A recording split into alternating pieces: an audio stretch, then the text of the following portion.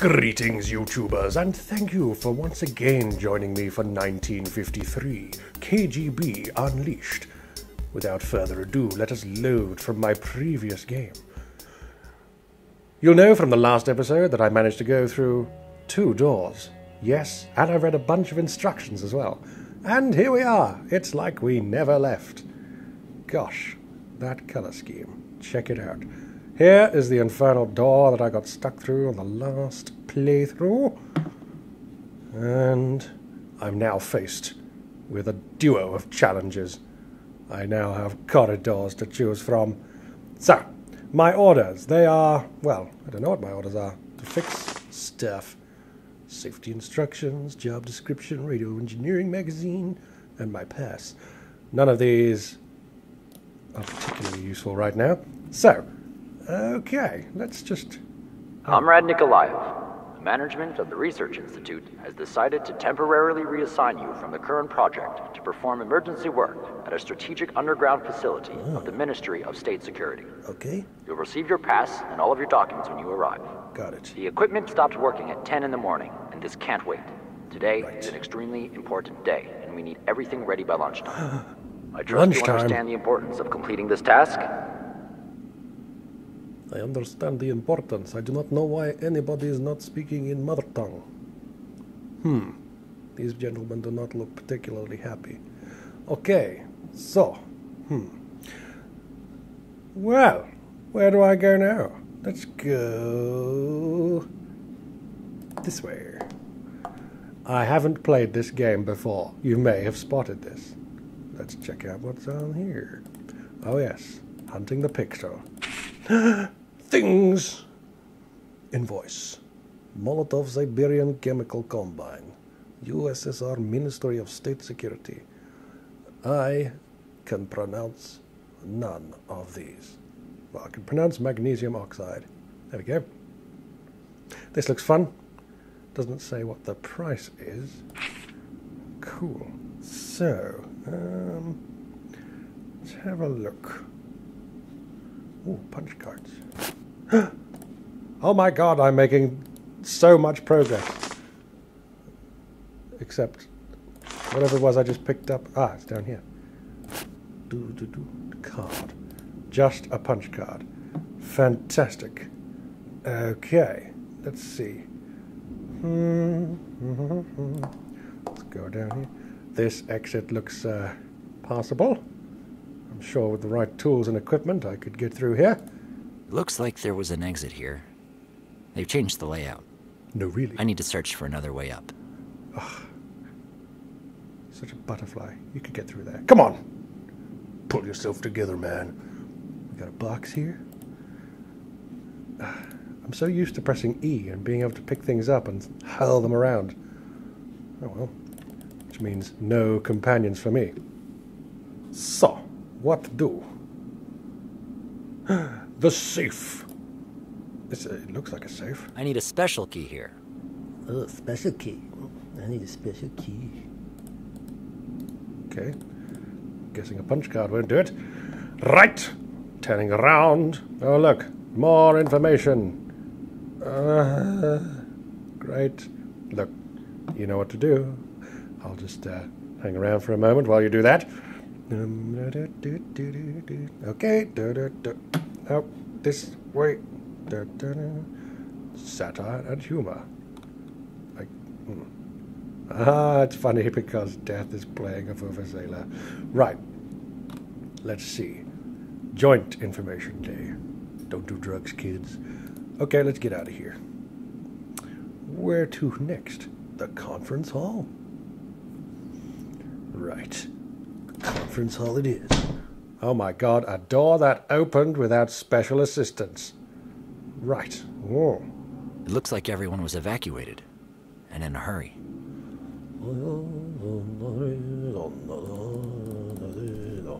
Aha, radio. Ah, this could be anything. The radio's working. Except for the range switch. The range switch. I need to find a small knob. Oh, oh, I make funny joke. Comics, yay! Ivan Petrovich carefully locked safe. The medicine is bitter, but is essential for health. He did not forget to lock the door, but he forgot to shut his mouth. Traces of crime. It's funny because he is terrible at his job. What's the program schedule for next week? On Monday, we have the Swan Lake Ballet. On Tuesday, the TV set usually breaks down. On Wednesday, we call a repairman. On Thursday, they have the day off at the television center. On Friday, the repairman comes. On Sunday, the repairman tinkers with the TV set for all day long. And then on Sunday, he checks the TV set. He checks how the TV set is working. And then it's Monday again. Huh, awesome. Have you heard, Harry? They have opened the Academy of Sciences in North Korea. Interesting. How can I get there? They said in their best multicultural getting along type way. Let's get out of here. That wasn't very funny at all. Let's go have a look at here. Projector. Gosh. Aha! A pencil. Just what I wanted. Mind over Matter. Publishing House of the USSR Academy of Sciences, Moscow, 1952. Bang up to date. I am not going to read this to you. You can read it yourself. Are you done? Fantastic. Not a moment to lose. I probably should be reading these things. Um, I might just take a moment to do that. Hang on a sec. Okay, and I'm back. So let's keep hunting for things to click on. What is the date today? Sunday, the 8th of March, which, if I'm not mistaken, is the day that everyone scarpered from the bunker. And I have also just realized that this isn't automatic. This is going to be the day that everyone buggered off. So that doesn't help me at all. I could have been here for months, years. Oh God, what if the aliens have arrived already? Oh well, I shall make friends with them, and I shall be their leader, and take over their planet. There's bound to be something in this closet. It's so. Yes. Ah. A strange closet. It is a very strange closet. You took the words right out of my mouth. Aha, work schedule for March 1953. Days of the week, all helpfully written in English. Days of the month and planned activities in places like Riga and Sevastopol, Warsaw, Kiev, Gdansk, Odessa, Bratislava, and Moscow, and Leningrad. Hmm. How exciting! Ah, be still, my beating heart, this game. I mean, huzzah! For I am enjoying this very hearty game, full of intrigue and action and no amounts of clicking whatsoever. Okay, this thing is dying to be turned on. Yeah. Come on. Key. A very special key or just a regular key? We click the button. Hello? My telephone is making noises at me. Turn on, you son of a mother. This does not work whatsoever. Hmm. Excellent. Order number 32 to 53. Due to the incident that occurred on February the 2nd, 1953, laboratory staff are forbidden to carry any firearms or other weapons. Firearm use is permitted only in the shooting gallery. Senior Lieutenant, Lieutenant, Lieutenant, that's a really hard word in Russian. Why the car? Why the car? Ah, because I like the car. Okay. To Major I.A. Andreev. Notification. The laboratory management persistently draws attention to the irrational use of reagents in the course of recent routine experiments. Due to negligence in the application, logging, and storage of chemicals, we have significantly overstocked these materials. As a result of such carelessness, expensive reagents are being kept outside in the corridor, making it difficult to walk through. Oh my god, the height of inconvenience. We have got too much stuff, and the stuff is preventing people from doing stuff. Oh, wow, they really had it hard. On the other hand, bandages and disinfectants are being used at an alarming rate. Also, there's a serious problem with the recording of the psych- uh, record- recording of psychotropic drug application. This will need to be discussed at a special meeting. The individuals responsible for this state of affairs should prepare their warehouse ledgers and invoices for the upcoming uh, execution uh, audit. Laboratory head and body, Senior Lieutenant Y.D. This one has writing on. Filtration technicians will receive slides with the schematics of the air circle. This is so boring. Oh my god. It's like they've deliberately gone out of their way to make my life a, living hell. Who needs monsters when you can be bored to death with information? Hang on a moment. Forgot the very important thing. Must salute the gentleman. What a dashing man he is. I am saluting presently. Okay, this is where I've taken a strategic point to just uh, play ahead for a little bit. Um, I've come back to our glorious leader here. I spent a good half an hour trying to figure out what to do next, and it turns out that the radio needs to be tuned to a specific channel. But you can't just stumble across it. No, no, no.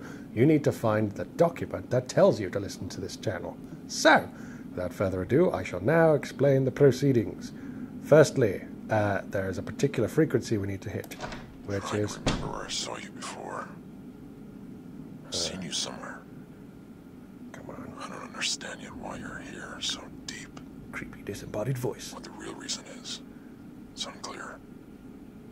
But you must understand that you won't manage without my help. So you'll have to be patient and listen. It's interesting to watch people like you. I can probably tell you a thing or two about this place. Don't expect any explanations. Such as, how are you You have to watching me? look for answers yourself. Ah, what?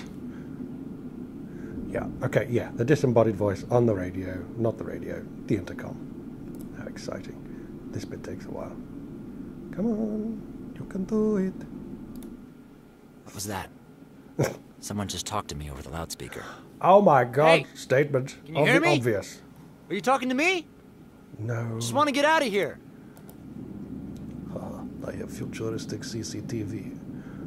And if I go over here to the information board, you will see uh, the plan for the research department's political and ideological work, the name, time, the place, and so on.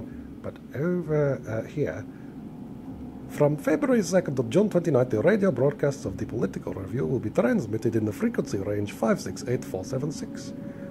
568476. Of course, because I can remember that amount of information. And then we go to radio. Turn on. There we go. Pick up. Ah. This is. Oh. BBC News at one o'clock. This is. Uh, whatever my name is. Gleb Ivanovich. The BBC World Service now broadcasting in Moscow. So, considering the fact that it is the 8th of March, I assume, uh, what's your draw? Uh, okay, as it was Sunday, the 8th of March, this is really confusing. But that would mean I need to tune the radio into Novosibirsk. Novosibirsk. No, yeah, that one. So, if we go back to here, we can find Novosibirsk. Novosibirsk, it's on here somewhere, quite like this radio should be in Bioshock. Sevastopol. Aha! Novosibirsk. Okay, let's. Uh, Ah, the speed at which I could tune the radio. It's so fast. Летчик сидел передо мной Just и рассказывал. Сколько времени Ага. я пролежал так, без движения и Okay, без сознания. that's too authentic. I cannot understand the word you're saying. Очнулся. В голове мелькнуло Turn the volume «жив» up a little bit. и сразу решил, надо пробираться к своим. Поднялся, сделал шаг. Jello От shark. боли охнул. No! There will be no jello shark. and as if by magic. I tell you what, before I head on through here to what I'm sure is inevitable excitement and rapture, I shall end this episode. Thank you very much indeed for watching. Like and subscribe as always. Become a minion today. No pay, free games, mopping of dungeons, all that good stuff. See you next time, everybody. Cheers.